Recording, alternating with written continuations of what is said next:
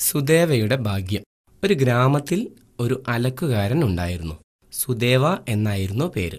വസ്ത്രങ്ങൾ അലക്കിക്കൊടുക്കലായിരുന്നു അയാളുടെ ജോലി. ജോലിയിൽ സഹായിക്കാൻ അയാൾക്ക് ഒരു കഴുതയും ഉണ്ടായിരുന്നു.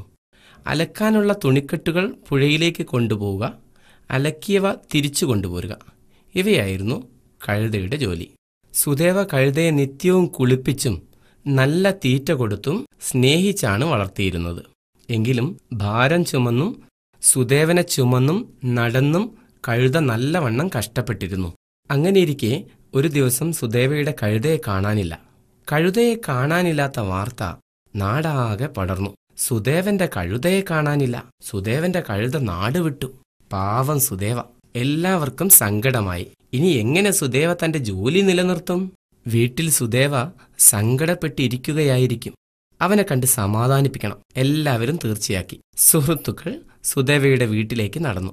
അവർ അയാളുടെ വീട്ടിലെത്തി. പക്ഷേ സുദേവയുടെ മുഖത്ത് സങ്കടമൊന്നും കണ്ടില്ല. അയാൾ സുഹൃത്തുക്കളെ സന്തോഷപൂർവം സ്വീകരിച്ചിരുത്തി. എല്ലാവർക്കും അത്ഭുതമായി. ഇതെന്തു കഥ? കഴുത പോയിട്ടും സുദേവന് സന്തോഷം. അവർ സുദേവയോട് കാര്യം തിരക്കി. സുദേവ ചിരിച്ചുകൊണ്ട് തന്നെ മറുപടിയും നൽകി. കഴുത നാട് വിട്ടത് രാത്രിയാണ്.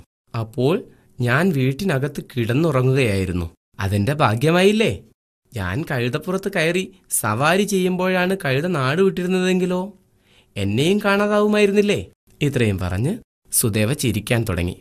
ഇത് കേട്ട് അവിടെ കൂടിയ എല്ലാവരും കൂടി കൂട്ട ചിരിയായി